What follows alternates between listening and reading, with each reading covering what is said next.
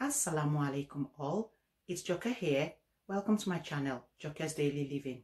I came here today to show you the face of the person behind all the cookings I've been sharing this past few months. Please subscribe to my channel and share with your family and friends. I created this channel so I can share my journey with you as I've been doing this last few months by cooking. Sometimes it will be about faith, sometimes it will be about maybe skincare, sometimes about what uh, clothes I see and I'm wearing at the moment. So maybe if I ever get onto gardening, which I don't think will happen, but I do hope so sometime.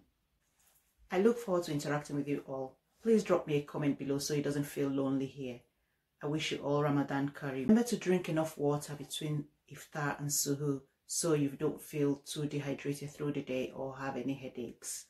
Over the next few days, can you do your cooking with at least half the normal quantity of oil you'd use in your normal cooking and I'd like to know if you do that.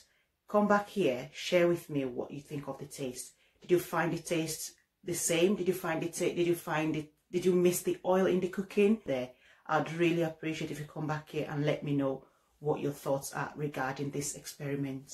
Jazakallah for staying this long. Don't forget to like and subscribe to my channel. Remember to share with your friends and family as well and I shall see you in my next video. Bye.